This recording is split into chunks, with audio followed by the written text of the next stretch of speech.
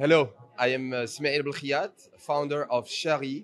Chari is a B2B e-commerce platform for local retailers in Francophone Africa. We provide them with the FMCG goods they resell in their stores, and we also provide them with financial services. Uh, to me, technology is the future of Africa. Africa is today looking for ways to develop faster, and it can be technology. I was recently in Paris where President Macron was addressing the development banks and financial institutions. And he told them that so far they invested a lot of money in Africa, in infrastructure projects, in private equity, but that they should start looking into technology. Why? Again, because technology is the future and technology could make Africa grow much faster.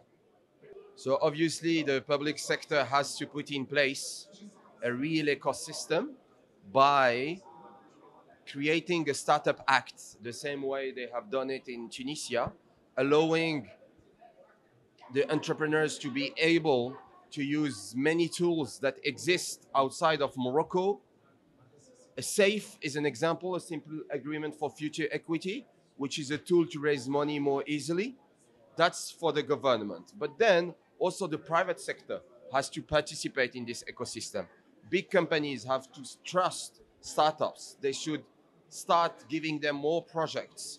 They should start paying them on time. And that's only when the ecosystem will be created that every single founder will have more hope and more energy to go fight and create a great startup.